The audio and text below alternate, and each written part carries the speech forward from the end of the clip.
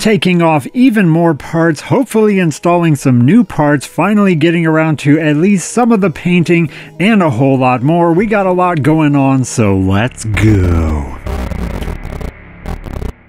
In the last episode, we pretty much wrapped up the entire modernization of the front end. We took an 07 Gixxer 750 front end and crafted it onto this much older 1982 Yamaha Virago chassis. One of the important steps in cafe racerizing your vintage motorcycle is installing some much more modern suspension components and since we already took care of the front end, now it's time to turn our attention to the rear end. In order to install install the shiny new parts, we have to remove the very tired and old ones, so let me just take care of that very quickly.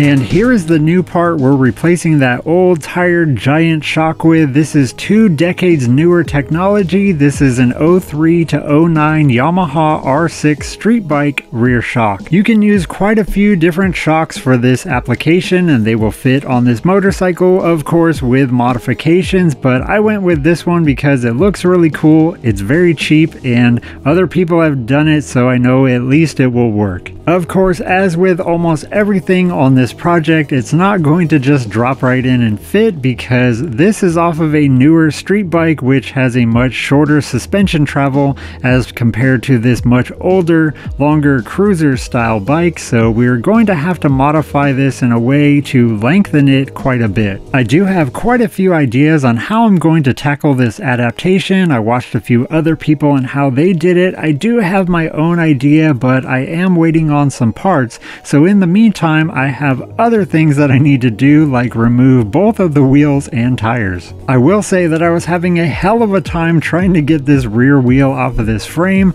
I've never done it before. I watched a few YouTube videos and tutorials on how to do it. Seemed very simple. You just take the shaft off and out comes the wheel and that's all you have to do. But maybe you guys can see why I was having such a struggle. Any guesses on what it was that was giving me such a headache trying to get this rear wheel off.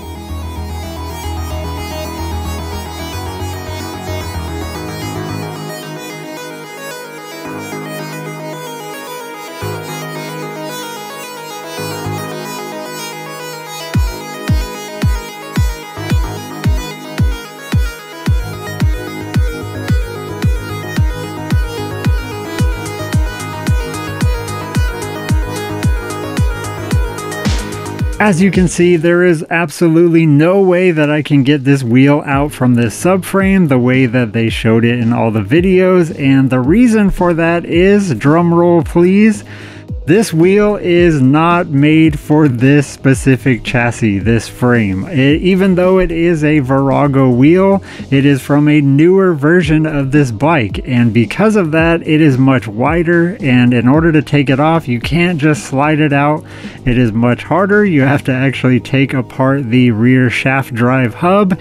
And once you do that, then you can get enough clearance to take the wheel out. But of course, I didn't know this at the time because I just assumed assumed that the wheels were the ones that came with this bike, but that wasn't the case. So all the videos I had seen of people just easily sliding theirs out with just taking out the axle shaft, that wasn't going to work with the wheels that I have. And even though it is a pain to get the rear wheel off in comparison to the one that came with it, I am glad that it has this modification already because this rear wheel not only looks cooler, but it is quite a bit wider and that's why you can't get it out so easily, but it allows you to run a much wider tire, which is really cool and it adds to the cafe racer look. So once I figured out that conundrum, it was smooth sailing and now I know how to take off and put on the rear wheels, which is an important thing, especially if you want to get new tires on your bike.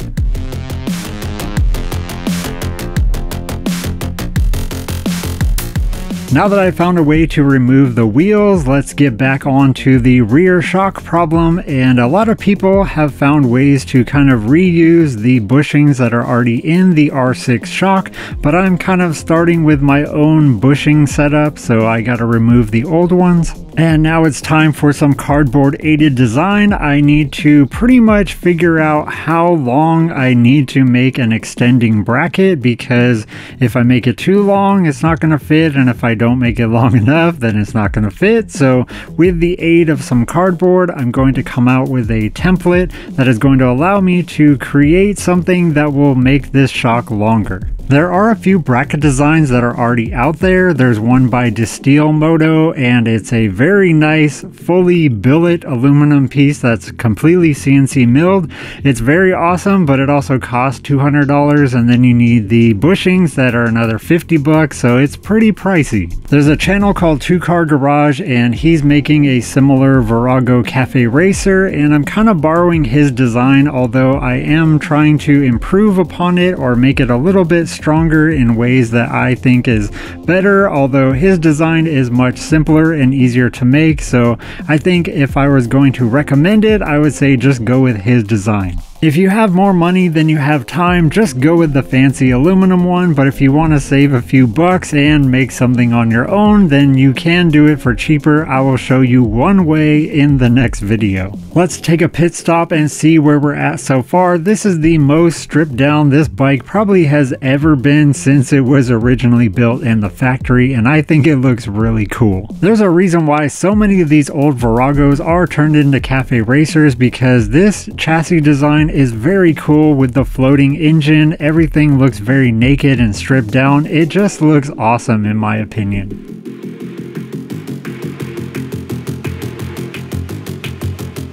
Okay, since I'm waiting on some parts for mounting the rear shock, I can't really progress further on that, and the next course of action is to mount the tires, but before I do that, I also want to paint the wheels because it's going to look a lot better when I can paint them without any tires on them. I'm trying my best to attack this project in the most efficient way possible because there is definitely an order of operations, and I'm trying my best not to have to backtrack and then either install and remove move a bunch of parts over and over again, even though I'm going to have to completely tear down the bike for when I paint everything, but hopefully I only have to do that one time. There's a reason why I'm trying to get down the suspension front and rear first and then getting the wheels and tires second because this is the foundation that the rest of all of the angles and the things that make a bike look nice or not nice is going to be off of the main kind of stance of the frame. And in order to do that, I need all of my suspension components on there. And I also need the tires that I'm going to be using. I will get more into the overall design of this project in a later episode, but for now, I'm just building the foundation. And honestly, these aren't really the exciting or fun parts of the build. This is kind of just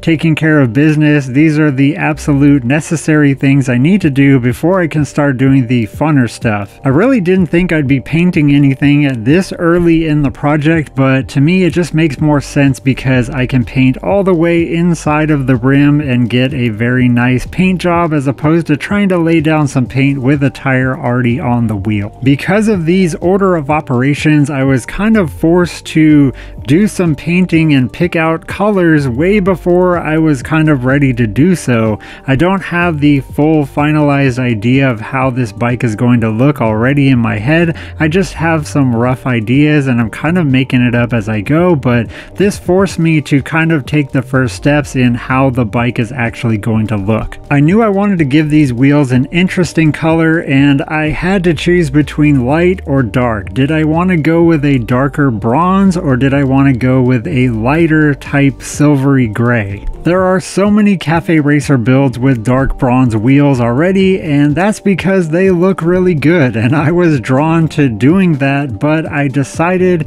even though I am very into dark things, I like black a lot, I like using very dark grays, but I thought for this build, because I always do that, I want to try something a little different. I went with the antique pewter instead of the dark bronze because I felt like this was going to give me a more monochromatic kind of style. The bronze definitely lends itself to more like gold forks and I have black forks, so I just wanted to kind of get away from the tinge of color that had to do with the bronze, and this is going to give me a much more medium kind of gray to work with and therefore it's not going to be coloring it anything. It's just going to be much more monochromatic. I honestly thought this color was going to be quite a bit darker. These look very silver kind of in the sun, but this color is very strange because if it's in the shadows, it looks very dark gray, but if it's in the sun, it looks bright silver, which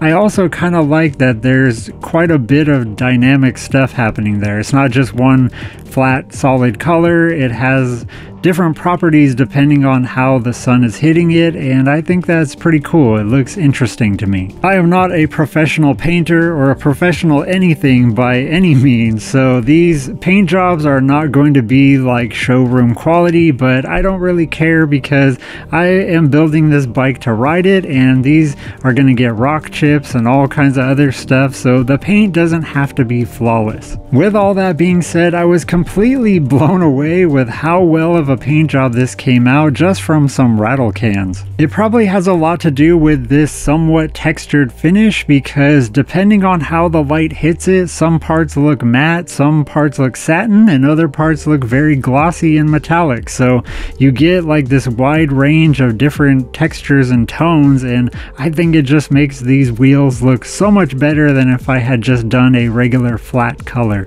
They are quite a bit lighter than I was expecting or even maybe hoping, but I'm trying to push myself out of my normal comfort zones and do something at least a little different with this build and not straying so much towards all the very dark muted colors, but I think these came out exceptionally well for what they are and I was really happy with how everything was looking at this point. And don't worry, I'll tell you all about these massive giant meaty tires. These are Dunlop D404 tires front and rear and the sizes for the front are 120-90-17 for the fronts and 150-90-15 for the rears. Because my rear shock mount parts are taking forever to get here, I'm throwing on the old rear shock again because we need to move on and utilize this time to set up the angles. Now that I have the tires I'm going to be using, you can see now that I've matched the bottom of the tire spacing and the bike actually sits on its own suspension and because of that we can now move on to setting the lines for the tank as well as the rear seat slash subframe. To me this is the most critical point of the build because it is going to determine how your motorcycle eventually looks. I have the tires I'm going to be running, I have the suspension minus the shock but that shouldn't make too big of a difference. Now I can start setting the lines for how the tank is going to sit as well as the rear seat. And to me, these two lines are going to determine how your bike actually looks. Is it going to have a downward slope and look very aggressive, kind of like a puma jumping through the air? Is it going to have the tank and the seat kind of lower in the back so it's more of like a rounded shape that goes from front to back? There are so many different lines that you can take and they all make a humongous difference in how your bike eventually looks. I haven't even really talked to you guys about how I'm going to be setting this up and how I want it to look, but I will get into that in the next episode because we're finally at that point where we can start fabricating. To me, this point marks the most exciting part of the build and it's only going to get better from here. This is where all the fabrication, all the creation starts happening and I am very happy to show you guys that in future episodes. So thanks so much for watching and I will see you in the next one.